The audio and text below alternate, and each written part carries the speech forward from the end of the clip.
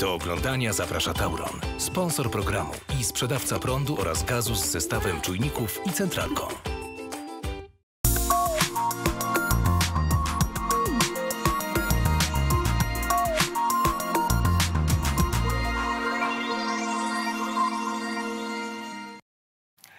Dzień dobry, witam Państwa w wywiadzie gospodarczym. Nazywam się Stanisław Koczot. Naszym gościem jest pan Rafał Lis, partner zarządzający w CVI Dom Maklerski.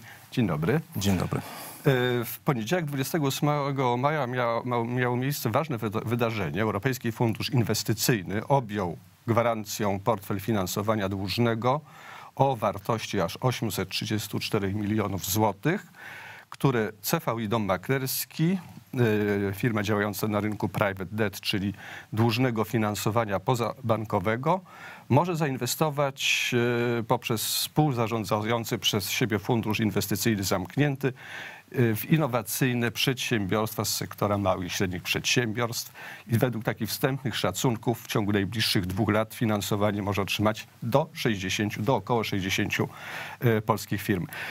Na czym polega wyjątkowość tej umowy zawartej między e, funduszem, Europejskim Funduszem Inwestycyjnym a CVI? Gwarancje udziela wiele instytucji krajowych, są gwarancje de, minimis, gwarancje udziela e, ARP, są gwarancje eksportowe.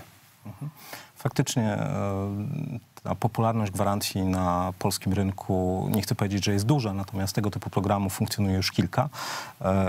E, Nowość e, tej umowy polega na tym, że jest to gwarancja udzielana na inwestycje e, w, w, przede wszystkim w obligacje emitowane przez e, przedsiębiorstwa. Czyli z, z tego punktu widzenia jest to pierwszy fundusz inwestycyjny, który e, inwestuje w oparciu o gwarancję, która w praktyce pozwala mu na ograniczenie ryzyka podejmowanych decyzji. To są, to są oczywiście obligacje korporacyjne, Tak, dokładnie. To emitowane przez, e, przez, e, polskie przedsiębiorstwa. Przez firmy.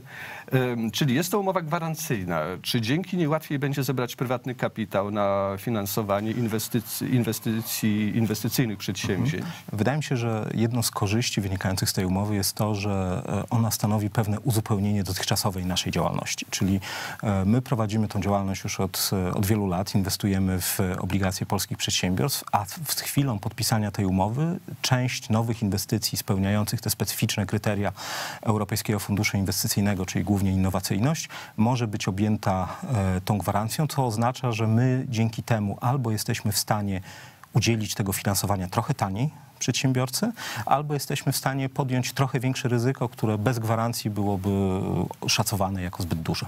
Czyli e, gwarancja polega na tym, że e, e, przedsiębiorca czy, czy emitujący e, obligacje, czy przedsiębiorca czy inwestor ma, ma gwarancję spłaty ewentualnie w razie, w razie jakichś problemów spłaty, spłaty wszyst- całego zadłużenia. Mniej więcej tak. W praktyce polega to na tym, że w przypadku, gdy zainwestujemy w innowacyjne przedsiębiorstwo, a ta inwestycja okaże się, mm, no, okaże się na, na koniec dnia zła, poniesiemy stratę, w 50% w tej stracie partycypować będzie Europejski Fundusz Inwestycyjny. Czyli z punktu widzenia funduszu, którym zarządzamy, te szkody na, na, na poniesionym ryzyku będą, będą w ten sposób mniejsze. Co oznacza, że dla inwestorów w naszym funduszu ta stopa zwrotu powinna być dzięki temu trochę większa. E, Czyli po prostu EFI bierze na siebie część ryzyka Dokładnie tak. związanego z inwestowaniem w innowacyjne przedsiębiorstwa. Tak jest. E, e, Czy, czy, czy to oznacza, że jeżeli chodzi o e, finansowanie bez gwarancji, jest w Polsce jakiś problem? Czyli rzeczywiście inwestorzy podchodzą do tego typu inwestowania, jeżeli nie ma gwarancji z, z pewnym dystansem, inwestorzy prywatni? E, Wydaje mi się, że faktycznie jest e, spora przestrzeń na e, finansowanie przedsięwzięć obarczonych większym ryzykiem. Tych środków, które, które miałyby trochę wyższy apetyt na ryzyko, byłyby w stanie, byłyby w stanie finansować tego typu przedsięwzięcia, nie jest zbyt dużo. To między innymi, na to wskazuje między innymi rozwój naszej działalności, bo w zasadzie od początku, od, od początku tej naszej aktywności w tym, w tym obszarze, ponad 6 lat, e, rozwijaliśmy się bardzo dynamicznie. No i rozwijaliśmy się bardzo dynamicznie dlatego właśnie, że, że, że, że jest głód tego typu finansowania. Banki w naturalny sposób mają ograniczony apetyt na ryzyko. No, finansują swoją działalność z depozytów, e, z depozytów klientów. w związku z tym no, też nie są zainteresowane podejmowaniem zbyt wysokiego ryzyka. Nie chcę powiedzieć, że my rzucamy się na dowolnie duże ryzyko, natomiast no, można powiedzieć, że w jakiejś mierze partycypujemy w finansowaniu tych przedsięwzięć, tych przedsięwzięć bardziej ryzykownych. Teraz z gwarancją no, można powiedzieć, że ta nasza przestrzeń inwestycyjna się trochę, trochę poszerza w tym zakresie. To jest, ta, oczywiście taka jest specyfika banku, no bank nie wejdzie w, w, w, przedsięwzięcie obarczone z, zbyt dużym, z dużym ryzykiem, ale na przykład też ARP organizuje takie mhm. gwarancje, to, z tym, że to są gwarancje na, dla, na określone projekty bardzo już wyselekcjonowane. No właśnie, wydaje się, że ten e, program, e, te kryteria dostępności e, w ramach tego finansowania, czy finansowania z gwarancjami EFI, one nie są zbyt wyśrubowane. Tych, te przedsiębiorstwa powinny być innowacyjne, ale ta innowacyjność może być wyrażona bardzo wiele sposobów. Jest ponad 20 kryteriów, z których powiedziałbym, chociaż jedno musi zostać spełnione. I to może być kryterium związane z, właśnie z realizacją jakichś innowacyjnych inwestycji, na przykład takich, które były współfinansowane dotacjami unijnymi. Ta innowacyjność może się wyrażać określonymi nakładami na badania i rozwój, ale również ta innowacyjność może się wy, wy, wy, wynikać z dużej dynamiki działalności przedsiębiorstwa i nawet wystarczy, że firma odpowiednio szybko rośnie, żeby to, to, to kryterium spełnić. W związku z tym właśnie w porównaniu dotychczas dostępnych gwarancji prawdopodobnie tutaj tych możliwości jest, jest, jest, jest więcej. No właśnie, jakimi, jakimi kryteriami Państwo będziecie się kierować, inwestując w jakieś przedsięwzięcie objęte następnie gwarancją? Ten proces inwestycyjny, e, no można powiedzieć, że w naszym wypadku kształtował się już od kilku lat. My działalność e, w zakresie zarządzania funduszami obligacji korporacyjnych prowadzimy od ponad sześciu lat, w związku z tym też już mamy pewien bagaż doświadczeń za sobą. E, faktycznie to, co warto powiedzieć, to, że no w naszym przypadku jesteśmy zainteresowani projektami, które mają jednak pewną historię. To nie, to mogą, nie są startupy. Dokładnie. To nie mogą być startupy, to raczej są firmy, które no miały możliwość zderzenia swojego modelu biznesowego z rynkiem, no miały możliwość e, pokazania, że jest zapotrzebowanie na, na, na ich produkty czy usługi, że ich model biznesowy jest w stanie, e, czy przy ich modelu biznesowym są w stanie prowadzić działalność rentowną i to z kolei z naszego punktu widzenia jest to tym czynnikiem, który mityguje ryzyko. To, że ten przedsiębiorca na przykład po zwiększeniu skali dzięki naszemu finansowaniu będzie w stanie generować przepływy, zyski, które będą w stanie obsłużyć i spłacić nasze finansowanie. W związku z tym no, pewna historia działalności działalności e, jest, jest, jest potrzebna, natomiast z drugiej strony właśnie w odróżnieniu od banków jesteśmy niewątpliwie bardziej elastyczni e, i dużo mocniej patrzymy w przyszłość. Czyli ta historia jest potrzebna, ale to nie musi być 3 czy 5 lat, to bardziej jest, chodzi o pewne uprawdopodobnienie tego, że firma mając określony profil działalności, określoną pozycję rynkową i swoje plany inwestycyjne, będzie w stanie, e, będzie w stanie to finansowanie spłacić. No właśnie, czy to, będą, czy to będą firmy z określonych branż, czy to będą na przykład firmy technologiczne, czy firmy, tak jak pan e, wspomniał, o e, wysokiej dynamice rozwoju? No mam nadzieję, że to będą zróżnicowane firmy, ponieważ gdyby one były właśnie skupione na określonych branżach, to kreuje pewne dodatkowe ryzyka. Więc tutaj staramy się również o pewne rozproszenie pomiędzy branżami.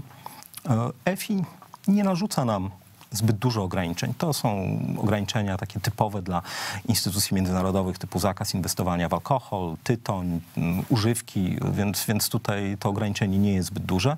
E, I mamy nadzieję, że, że będziemy w stanie trafić zarówno do firm, które reprezentują branżę technologiczną, ale również do absolutnie tradycyjnych sektorów, gdzie też można wykazać się innowacją na, na wiele sposobów. Właśnie, jakie będą korzyści dla przedsiębiorstwa z, te, z, z, tego finansowania i z gwarancji, którą, którą udziela EFI? Mhm. E, EFI zobowiązało nas, że w zamian za e, udzielenie gwarancji, czyli de facto wzięcie części, części ryzyka na siebie, e, powinniśmy przenieść, można powiedzieć, tą część benefitów wynikających z gwarancji na przedsiębiorcę, na przedsiębiorstwo, czyli to oznacza, że ten nasz koszt finansowania takiego projektu powinien być niższy, aniżeli w sytuacji bez gwarancji. Czyli to jest taka najbardziej namacalna e, korzyść wynikająca dla przedsiębiorcy. No i drugi przypadek, gdzie, tak jak wspomniałem, może się zdarzyć, że bez gwarancji EFI, no byśmy uznali, że dany projekt jednak jest zbyt ryzykowny, a właśnie dzięki wzięciu tej połowy potencjalnego, ryzyka potencjalnych strat przez EFI, jednak e, uznamy, że, że mieści się w kryteriach inwestycyjnych i będziemy w stanie go zaakceptować. Czyli można powiedzieć, że w jakiejś mierze poszerzamy dostęp do finansowania i też w jakiejś mierze obniżamy, obniżamy jego koszty. No i przede wszystkim obniżycie Państwo ryzyko, co dzięki tej Z tej punktu gwarancji. widzenia inwestorów w naszym funduszu, tak. Mm, Dlaczego FI zdecydował się wybrać akurat e, CVI? Czy, czy podobne umowy e, w ramach, e, bo ta umowa działa, działa w ramach programu Junckera, już w kraju działają, czy tylko to jest po prostu większa, większa skala tej, tej, tej, tej, tej pomocy, tej gwarancji? O ile się orientuję, to podpisanych zostało w ramach tego programu, którym, e, którym e, objęty został nasz fundusz, czyli programu Innofin, już kilka umów. E, Dotyczyło ono firm leasingowych i firm i funduszy inwestycyjnych, ale o takim charakterze udziałowym, czyli nabywających udziały w przedsiębiorstwach. Te umowy faktycznie były na trochę mniejszą skalę, natomiast ja myślę, że w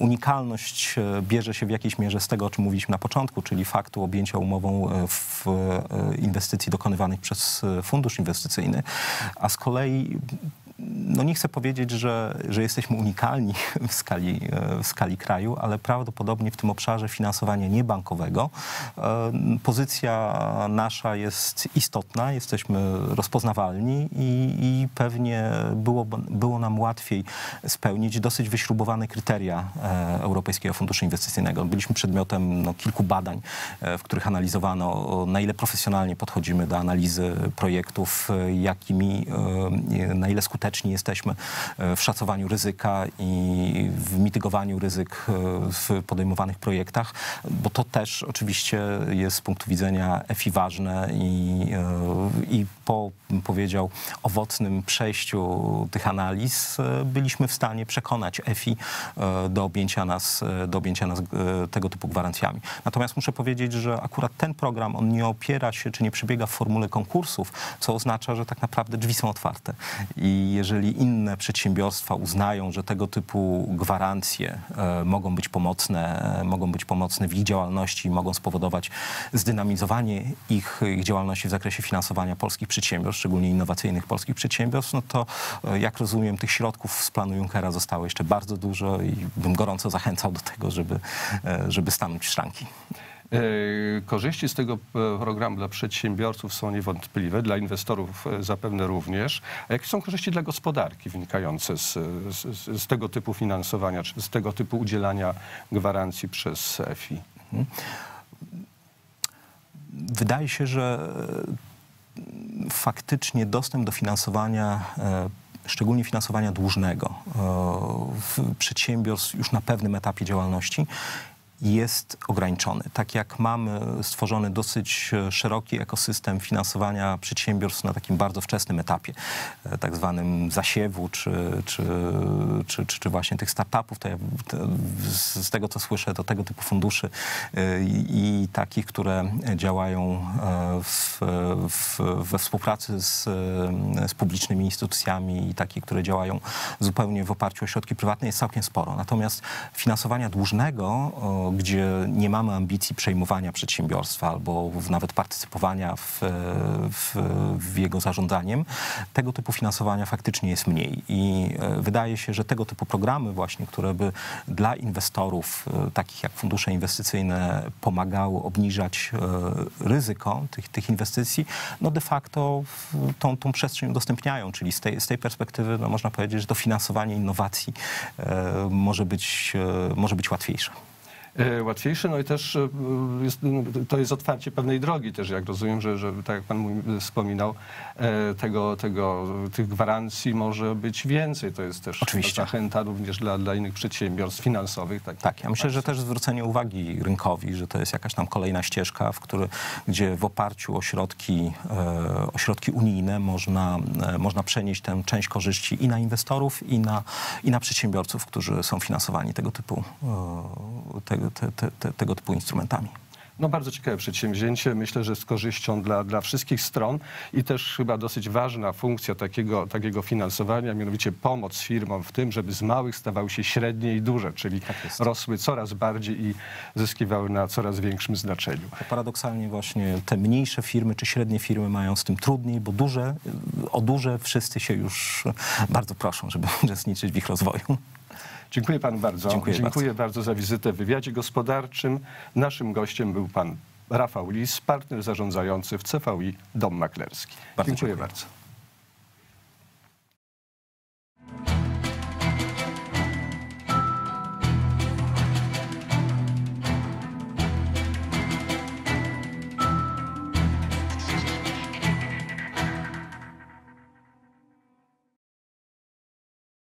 Do oglądania zaprosił Tauron, sponsor programu i sprzedawca prądu oraz gazu z zestawem czujników i centralką.